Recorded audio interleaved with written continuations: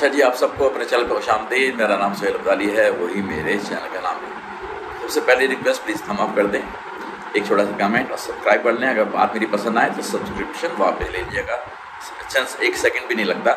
Onclick करने में subscription को, ठीक है? तो ये बात हो गई है। मैंने पिछले वीडियो में तमीज बात दी थी कि भाई, ये स्टैटिन और ये सारे मसाइल दिल के, ये सब चीज़ें हो क्या रही हैं, क्या नहीं हो रही हैं। और आप खुद जानने की कोशिश करें कि भाई, ये चीज़ें हैं क्या और किस वजह से होती हैं और उसके असल में नुकसान क्या हैं। तो जैसे मैंने उस साहब से बात की, जिनका कि तीन स्टैंड पढ़ चुके हैं अब तक, पिछले आठ साल में। और अनफॉर्चुनेटली जो उनकी मैंने रिपोर्ट देखी, उसमें जो सबसे ख़तरनाक चीज़ देखी, उसके ऊपर डॉक्टर ने कभी ज़िक्र ही नहीं किया उनके साथ। डॉक्टर उनको मुसलसल स्टैटिन दिए जा रहे हैं, क्योंकि वो एलडीएल के पीछे पड़े हुए एल जो है उनका फोर्टीज़ में चल रहा है, जो कि बहुत लो है। और एचडीएल भी उनका फोर्टीज़ में चल रहा है, जो कि और भी लो है, बड़ा ख़तरनाक है। ये दोनों नंबर जो हैं, अब ख़तरनाक हद तक नीचे जा चुके हैं। लेकिन ओवरऑल कोलेस्ट्रॉल उनका हंड्रेड एंड फोर्टी करीब चल रहा है तो वो कोई अच्छी खबर नहीं उनके लिए, वो भी।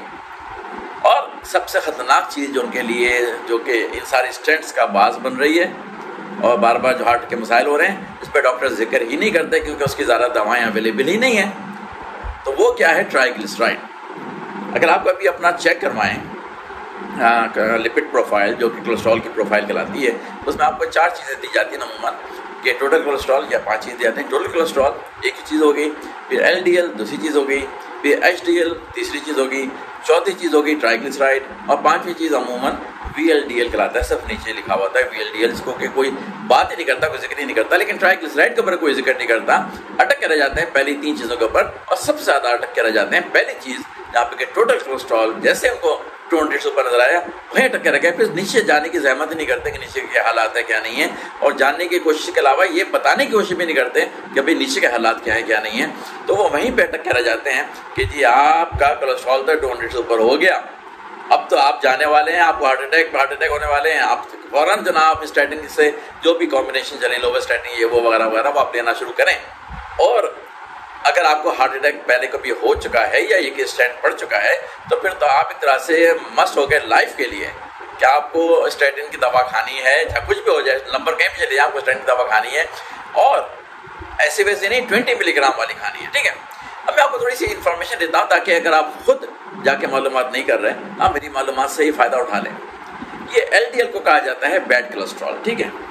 ये एक मिथ बन गई है क्योंकि फार्मास्यूटिकल कंपनीज़ ने मशहूरी कर दी है, इतनी मशहूरी की है, इतनी बातें की हैं L D L L D L bad cholesterol L D L bad cholesterol कि हर जिस किसी की ज़बान पे कोई लफ्ज़ भी सुनने को मिलता है तो यही सुनने को मिलता है कि L D L bad cholesterol और H D L good cholesterol बस ये दो बातें सुनने को मिल जाती हैं। और टोटल कोलेस्ट्रॉल की बात भी सुनने को मिल जाती है। वो भी इतना मशहूर कर दिया है टू हंड्रेड से ऊपर खतना हालाँकि एक ज़माने में जब ये इसके ऊपर फोकस किया था कोलेस्ट्रॉल ने फार्मास्यूटिकल कंपनीज़ ने फोकस किया था कि उसके बाद दवाएँ आ गई थी इसके लिए एलडीएल को कम करने वाली। तो उन्होंने एच डी को ऊँचा लाने वाली दवाएँ नहीं दी एलडीएल को कम करने वाली। उसके नतीजे में एच डी एल भी कम हो जाता है एल डी एल कम हुआ एच डी एल भी कम हुआ। वो दवाएँ जब उन्होंने निकाल ली तो उन्होंने कहा, भाई 260 से जिसका ऊपर है, वो हाई कोलेस्ट्रॉल में है, वो दवाएँ खाए। तो बहुत लोग निकल आए दो सौ साठ से ऊपर वाले बेशुमार अब लेकिन फार्मास्यूटिकल कंपनी ने जब देखा कि एक दो साल के बाद भाई, इतनी दवाएँ बिक रही हैं। इससे ज़्यादा नहीं बिक रही, दो सौ साठ के ऊपर चलो इसको दो सौ चालीस पे लेके आ अब दो सौ चालीस पे ले आए जनाब। दो सौ चालीस की वजह से और उनका पूल बढ़ गया जो दवाएँ खाने वाले हैं। उनके दवाएँ ज़्यादा बिकनी शुरू हुई। एक दो साल गुजरे और कुछ साल गुजरे तो उन्होंने कहा, भाई, अभी भी आमदनी बढ़ा सकते हैं हम अपनी दवाओं की वजह से। तो उन्होंने कहा, भाई 240 से भी 220 कर दो। बताने की कोशिश ये कर रहा हूँ कि सारे नंबर जो हैं वो कम हुए जा रहे हैं, ज़्यादा से ज़्यादा दवाएँ बिकवाने के लिए। क्योंकि जब 260 पे था तो जितने लोग थे, जो कि 260 से ऊपर थे, उनका नहीं, मज़ा नहीं आ रहा। दो सौ चालीस, दो सौ बीस, दो सौ पे ले आए। अब सुनने को आ रहा है कि एक सौ अस्सी पे ले आने वाले, ताकि और ज़्यादा लोग मिल जाए हमको स्टैटिन की दवाएँ खाने वाले। पैसा बन रहा है, बेशुमार। और ये लॉबिस्ट हैं, जो कि मेडिकल फार्मास्यूटिकल कंपनी की तरफ़ से बनाए हुए हैं, जो कि अप्रूव करवाते हैं एफ़ से, ये सारे नंबर। ये समझ लें एफ़ को चाहिए हैं पैसे। और पैसे दे रही है फार्मास्यूटिकल कंपनी मैं फार्मास्यूटिकल कंपनी की हर चीज़ के खिलाफ नहीं हूँ, लेकिन बहुत सारी चीज़ों के खिलाफ हूँ, जहाँ पर के वो धड़ाधड़ पैसा ऐसा बना रहे हैं। और सब चीज़ों पर ऐसे ऐसे करके बात करूँगा मैं आपसे कि वो आपकी सेहत से खेल रहे हैं, लेकिन अपना पैसा बना रहे हैं। अब कुछ जगहों पर फार्मास्यूटिकल कंपनी की दवाओं की शरीर ज़रूरत भी पड़ती है, वो एक अलग बात है, ठीक है? लेकिन जहाँ ज़्यादातर जगहों पर ये पैसा बनाने का खेल बन चुका है। तो मैंने ये बताने की कोशिश कर रहा हूँ कि एल डी एल जो कि बेड कोलेस्ट्रॉल बहुत ज़्यादा बदनाम बदनाम हो चुका है। एल डी एल में आपकी एल डी एल जो है आपकी बॉडी के लिए शदीद ज़रूरी है। आपका दिमाग का मेजॉरिटी बल्कि almost close to hundred percent जो फॉर्मेशन है दिमाग की, वो कोलेस्ट्रॉल से बनी हुई है, ठीक है? अब कोलेस्ट्रॉल का काम है क्या? तो मुख्तर अंदाज में ये है कि जहाँ भी आपकी शरियानों में इन्फ्लेमेशन होती है, सोजिश होती है तो वहाँ जाके कोलेस्ट्रॉल कुदरत ने बनाया है। याद रखिएगा, ये चीज़ कुदरत ने बनाई है। बेवकूफ़ी बेवकूफ़ी बेकार की चीज़ नहीं बनाई है, बहुत काम की चीज़ बनाई है। और कोलेस्ट्रॉल जो है, तकरीबन 75 टू 80 परसेंट आपकी अपनी बॉडी प्रोड्यूस करती है ज़रूरत के लिहाज से। सिर्फ़ 20 परसेंट के करीब रफली आप जो फ़ूड खाते हैं, उसके ज़रिए आपके अंदर जाता है, लेकिन सारा ज़ोर जो है, वो फ़ूड के ऊपर पड़ गया है। ठीक है?